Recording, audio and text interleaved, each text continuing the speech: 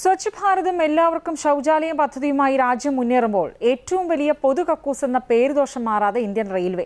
പതിനൊന്നാം പദ്ധതി കാലത്ത് ആവിഷ്കരിച്ച ബയോ ടോയ്ലറ്റ് സംവിധാനം വർഷം ആറ് കഴിഞ്ഞിട്ടും നടപ്പായില്ല.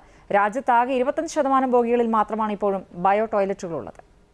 പൊതു ഇടങ്ങളിൽ മലമൂത്ര വിസർജനം പാടില്ലെന്ന് നാഴികയ്ക്ക് നാൽപ്പത് വട്ടം ബോധവൽക്കരിക്കുന്ന നാടാണ്. ഇത് തിരുവനന്തപുരം റെയിൽവേ സ്റ്റേഷനിൽ നിന്നുള്ള കാഴ്ച.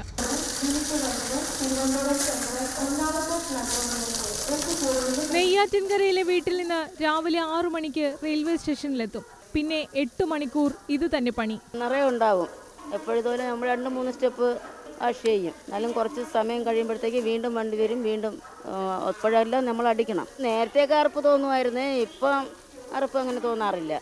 ട്രാക്കിൽ നിന്ന് പുറന്തള്ളുന്ന മനുഷ്യവിസർജ്യം അടക്കമുള്ള മാലിന്യങ്ങൾ വലിയ അഴുക്കുചാൽ വഴി ഒഴുകി സ്റ്റേഷന് പുറത്തേക്ക്. അവിടെ നിന്ന് ജനവാസ കേന്ദ്രങ്ങളിലേക്ക് ജലസ്രോതസ്സുകളിലേക്ക്.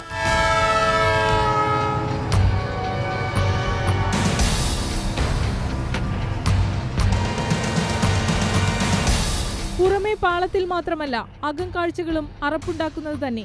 പൊട്ടിയൊലിച്ചും നിറഞ്ഞു കവിഞ്ഞും കക്കൂസുകൾ.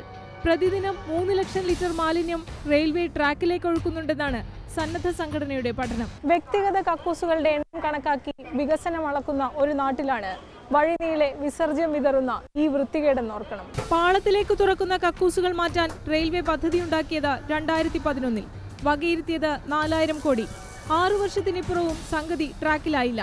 തിരുവനന്തപുരം ഡിവിഷനിലെ ആയിരത്തി എഴുന്നൂറ് കോച്ചുകളിൽ മുന്നൂറ്റി ഇരുപത് എണ്ണത്തിൽ മാത്രമാണ് ഭാഗികമായെങ്കിലും ബയോ ടോയ്ലറ്റുകൾ ഉള്ളത്. ഇന്ത്യയിലെ ആകെ കണക്കെടുത്താൽ ഇരുപത്തിയഞ്ച് ശതമാനത്തിൽ താഴെ. Cameraman Ashwin പ്രഗതിക്കൊപ്പം C P Ajitha Asianet news.